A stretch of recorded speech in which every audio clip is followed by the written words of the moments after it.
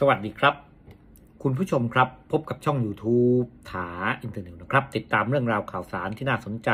น่าติดตามกันนะครับ เป็นแถลงการณ์ของพรรคไทยภักดีนะครับ ต่อสถานการณ์สงครามแล้วก็ทางออกของประเทศไทย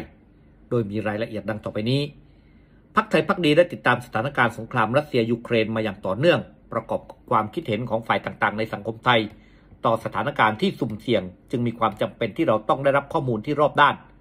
สงครามครั้งนี้แม้จะอยู่ห่างไกลประเทศไทย ดูเหมือนจะมีผลกระทบต่อประเทศไทยน้อย แต่ล่าสุดกองทุนการเงินระหว่างประเทศ ได้ระบุว่าสงครามครั้งนี้ผลักดันให้ราคาพลังงานและธัญพืชในตลาดโลกเพิ่มสูงขึ้น อัตราเงินเฟ้อเพิ่มสูงขึ้นทั่วโลก ประชาชนชาวไทยเราย่อมได้รับผลกระทบด้วย ถ้าหากสงครามยังยืดเยื้อหรือขยายวงประกอบกับปัญหาการแพร่ระบาดของโควิด ย่อมมีผลกระทบต่อปัญหาเศรษฐกิจของประชาชนไทยอย่างหนักหน่วง การเรียกร้องให้เกิดสันติภาพจึงน่าจะเป็นทางออกที่ดีที่สุด ของการอยู่ร่วมกันในฐานะประชาคมโลก แม้พรรคไทยพักดีจะเป็นพรรคการเมืองที่ยังไม่มีอำนาจชี้นำในรัฐบาล แต่พรรคไทยพักดีตระหนักว่า สงครามมีแต่การสร้างความสูญเสีย มีแค่บางประเทศเท่านั้นที่ได้รับผลประโยชน์จากสงคราม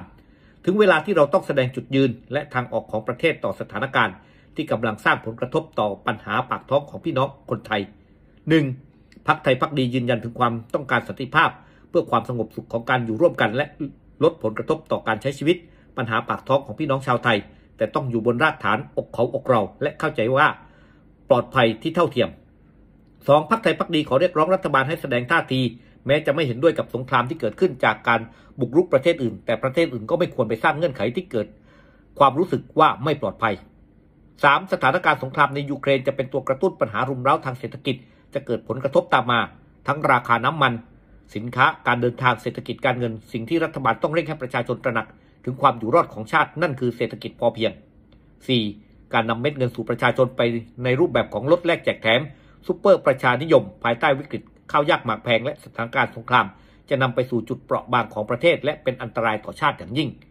5. การนำเม็ดเงินลงสู่ประชาชนต้องเน้นการสร้างงานสร้างเงินสร้างรายได้จัดสร้างแหล่งน้ำที่ถาวร สร้างตลาดการเกษตรที่เป็นธรรม เพื่อให้ระบบเศรษฐกิจพอเพียง มีความเข้มแข็ง จะเป็นทางรอดของประเทศไทย ในสถานการณ์เช่นนี้ นี่เป็นสิ่งที่ทางด้านพรรคไทยพรรคดีนั้นออกเป็นแถลงการออกมาเนี่ยนะครับ ถึงสถานการณ์ที่เกี่ยวเนื่องเกี่ยวข้องกับสถานการณ์โลก ซึ่งเป็นความขัดแย้งระหว่างทางด้าน ในส่วนของยูเครนแล้วก็รัสเซีย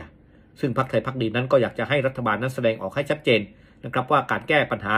ด้วยสันติวิธีนั้นเป็นสิ่งที่ควรกระทำแล้วก็สิ่งที่จะต้องทำนั่นก็คือการที่จะรับมือปัญหาทางด้านเศรษฐกิจที่จะเกิดผลกระทบต่อประเทศไทย และก็ประชาชนคนไทยนั่นเองครับ